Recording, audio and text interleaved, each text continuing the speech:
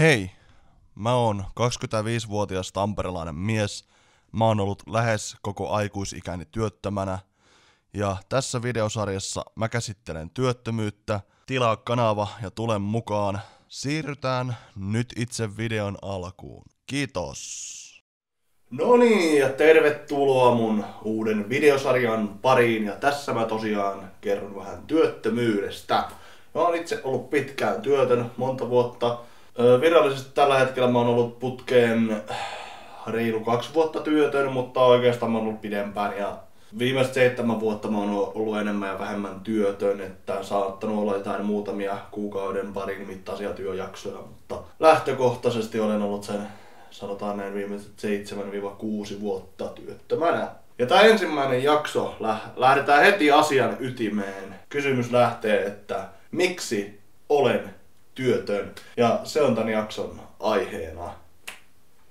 No okei, lähdetään siitä, että monesti kun työtä haen ja katselen noita työpaikkailmoituksia, niin tosi monessa vaaditaan aina jonkin sortin koulutusta ja tällaista erinäisiä koulutuksia ja muita vähintäänkin lyhyitä kursseja ja näin, mutta lähdetään sitten ihan niin jostain tutkinto asiasta nyt vaikka liikkeelle, mikä on tärkeä työllistymisen kannalta. Kun multa loppui peruskoulu, mä olin sitä mieltä, että heti, että ehdottomasti lähdetään kouluun ja jatko-opintoihin ja tällainen. Ja niin mä myöskin lähdin. Mä silloin hain Forssaan opiskelemaan media-alaa ja mä sain itse asiassa peruutuspaikan, että tuli ennen koulujen alkamista viikkoa ennen tietoa, että nyt sulla on koulupaikka ja sä pääset tänne opiskelemaan. Ja sitten sitten mä etsin asunnon itselleni, itselleni Forssasta ja sinne mä sitten menin koulun perässä ammattikouluun. Mutta mulla tuli sitten siellä koulussa, mä ty- tykkäsin kyllä niin opiskella media-alaa ja se on semmoinen mieluisa ala itselleni. Tykkään kaikesta tällaisesta tosi paljon ja näin. Mutta siinä vaiheessa, jossain vaiheessa mulla alkoi tulee tosi paljon mielenterveyden kanssa ongelmia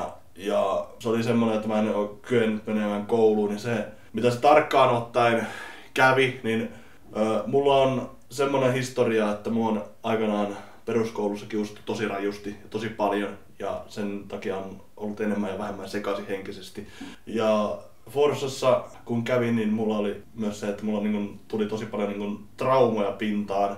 Ja tätä on niin toistu Forsassa ja muutamassa seuraavassakin koulussa, mitä, mihin on hakenut. Joka vuosi mä aina johonkin kouluun menin. Ja sitä on tullut enemmän ja vähemmän joka koulussa.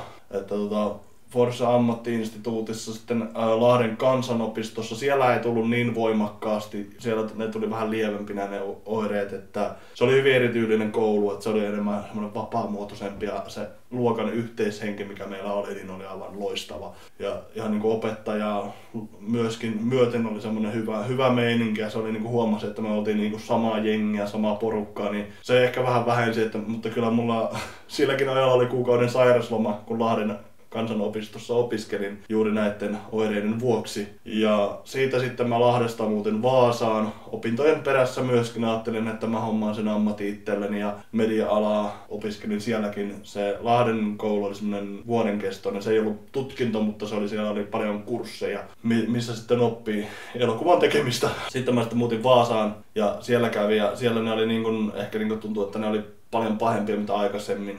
Mä ihan niinku suoraan vaan heitin pyyhkeen kähän, koska mä huomasin, että mun pitää niinku se, että jos mä en ole niinku, jos mä oon niinku henkisesti näin epävakaa, että mä kykene ja näin, niin tota siellä oli niinku, olin siellä itse asiassa Vaasassa opiskelemassa, niin se koulu, niin se oli itse asiassa englannin kielen tunti ja se on ollut mulle vaikea aina aina. Ja mä huomasin, että mulla on niinku ihan kirjaimellisesti, kun oli, oli siis mon, monta sivua tavallaan tehtäviä ja sitten tein niitä tehtäviä, niin mullahan oikeasti alkoi käsi täriseen. Mä en voinut sille mitään.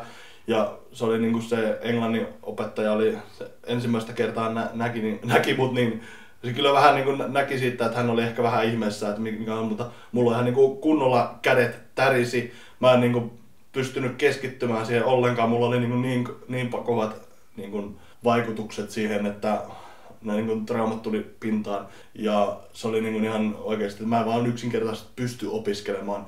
Että nämä niin tämmöiset ammatilliset aineet, mitä media-alalla, niin niissä ei tämmöistä tullut niin paljon oikeastaan tai juurikaan. Mutta sitten nämä, niin kuin, nämä perusaineet, mitä on niin kuin englanti, matikka, äikkä, ruotsi, jne, jne, mitä, mitä nyt onkaan, mitä ammattikoulussa pitää, mutta vastaavalla koska ne on niin kuin, taas niin, muistuttaa sitä, niin sitä peruskoulujuttua. Mutta mä nyt kerron ehkä vähän liikaa näistä niin kuin kouluasioista ja näin, mutta mä nyt ajattelin, että mä nyt kerron suoraan tässä videolla, kun tästä kerrotaan, niin, niin sitten tiedätte ainakin, että, että mistä on kyse, kun mä sanon, että mä en yksinkertaisesti pysty opiskelemaan koulussa. Ja sitten toinen asia. No, voidaan lähteä ihan aika, aika, aikajanallisesti siitä liikkeelle, että mihin, mihin jäin, kun mä lopetin Vaasassa koulut. Sitten, sitten, sitten lähtee, lähtee sitten työkkärin kanssa asiointiin. Ensimmäisen kerran asioin työkkärin kanssa Vaasassa asuessani itse asiassa. Ja siellä mä sitten menin työkkäriin ja sitten kysy, se kysyi vaan, että mitkä alat sua kiinnostaa. Mä sitten sanoin, luettelin eri aloja hommia, että mitä, mitä voisin ihan mielelläni lähteä tekemään ja näin. Mä en silloin tiennyt näistä työkuvioista oikein mitään ja näin. Mutta sitten mä esimerkiksi y- yksi, mikä, mikä mua kiinnosti, niin oli tota, esimerkiksi niinku baaritarjoajia tai tämmönen, se kiinnostaa mua edelleen ja tämmönen niinku, siis niinku baarimiko-hommat ja tämmönen, niin se oli, se oli jotenkin mun mielestä semmonen mitä voisin kuvitella tekeväni. No sitten tota, mitä mua työkkärissä neuvottiin, niin mulla neuvottiin, että, että lähdet kyselemään baareista, että löydätkö sä ty- ty- työpaikkaa ja tämmöistä, että palkkatuella onnistuisi. Ja mä en itse mä en muista, että miksi mä en lähtenyt, mutta mä en jossain vaiheessa lähtenyt sitten lopulta ollenkaan kyselemään. Mutta tämä oli tavallaan hyvä, koska tota, se työkkäinen työntekijä ei sanonut sanollakaan esimerkiksi sitä, että kyseisellä alalla tarvitaan anniskelupassi. Mä en, mä en itse ajatellut semmoista, että semmoinen byro, niin, niin kova byrokratia on, että semmoista tarvitaan. Ja hygieniapassia myös tarvitaan. Niin jos mä olisin tiennyt, niin mä olisin lähtenyt niitä hommaamaan ensin. Ja koska sehän on, jos sä, vaikka sulla olisi työpaikka tiedossa, mutta sä et vaan saa niitä, niin hygieniapassia ja anniskelupassia, niin et sä lähde sinne baarialalle töihin ravintola-alalle. Se on vaan ihan näin. Ja mun mielestä niin kun, mä oon itse nähnyt, että työkkäri neuvoo ja keskittyy ihan väärin asioihin koko ajan. Se ei, ne kaikki jutut, mitä ne väittää työllisyyttä edistäväksi, ei ole mua ikinä edistänyt. Sielläkin mä tota, itse pesin autoja Vaasassa muutama viikko ja mulla oli, tuli silloinkin oli näitä oireita päällä ja mä itse asiassa en ollut ilmoittanut sinne, mä olin ihan luvatta poissa pari viikkoa varmaan putkeen ja sieltä tulee sitten niin kuin tältä kuntouttavan työtoiminnan ihmiseltä viesti, että, että jos sua ei näy huomiseen mennessä, niin sä lennät pihalle. Ja mä sanon, että olkoon, mä lennän sitten pihalle.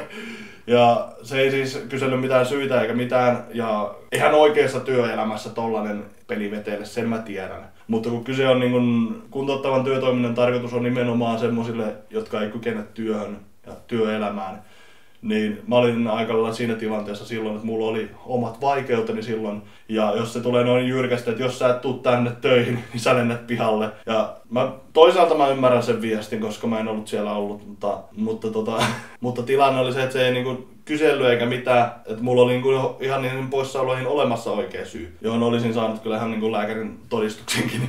mutta tota, ei mä sillä mä, mä olin niin tympäätynyt siihen koko paikkaan muutenkin, että mä en niinku jaksa yhtään kiinnostaa, että mä olin, että, että olkoon sitten.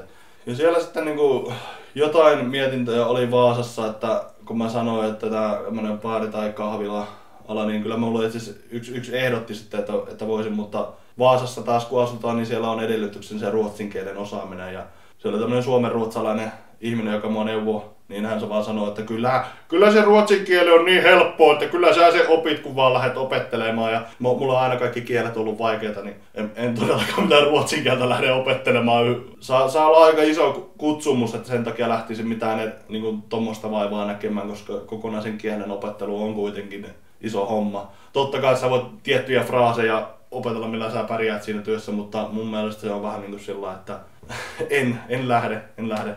Ja mä oon tosiaan niin monta vuotta käynyt työkkärin kanssa ihan Tampereelle muutettuanikin. Ja mua on aika paljon painostettu niin kuin menevään vaan kuntouttavaan työtoimintaan ja se perustelu on siinä, että tämä edistää sun työllistymistä. Ja aina kun mä kysyn, että miksi, miten tämä edistää mun työllistymistä, niin mä en ole saanut mitään vastausta. Tai korkeintaan vastaus on ollut se, että sä ainakin käyt jossain. Mutta tota, joo, si- siinä on varsinainen meritti mennä työhaastatteluun ja kysyä, että joo, mä oon joskus käynyt jossain silloin tällöin. Ja sitten kun niinku, se on hyvä, kun mä aina menen, mä oon käynyt aina välillä työhaastatteluissa. Ja sitten kun kysyy, että mitä sä tuolla kuntouttavassa työtoiminnassa oot tehnyt, niin vastaus on, en mä oikeastaan mitään tehnyt. Niin tota, se, on, se on hyvä vastaus, koska ne on semmoisia paikkoja, että niissä ei oikeasti opita mitään, ellei osata. Ja okei, mä, mä tuun kertomaan kuntouttavista työtoiminnoista enemmän. Mä en tässä osassa mene sen enempää niihin. Mä tuun, tulee jakso, missä mä kerron, kerron enemmän mun kokemuksista. Tässäkin tuli vähän, vähän, vähän tota siihen liittyen, mutta mulla on tulossa siitä aiheesta kokonainen jakso, niin unohdetaan nyt tähän jaksoon nämä. Mutta, mutta se, että tota, työkkäri keskittyy ihan väärin asioihin ja semmoisiin asioihin, mikä ei oikeasti auta mua yhtään, niin mä voin sanoa, että mä oon ollut varmaan en, en ole ihan tarkkaan laskenut, mutta sanotaan, että noin seitsemässä paikassa kuntouttavassa työtoiminnassa ja yksikään ei ole oikeasti auttanut mua työllistymään. Ja se, että jos mä oon ollut seitsemässä työllistymistä edistävässä toiminnassa, niin eikö helvetti vieläkään voisi luulla, että jos niillä olisi työllistymistä edistä, edellistä, edistävä vaikutus, niin enkö mä olisi siinä vaiheessa työssä. Tai sitten mun pitää olla aika helvetin huono. Sekin voi olla mahdollista tietenkin.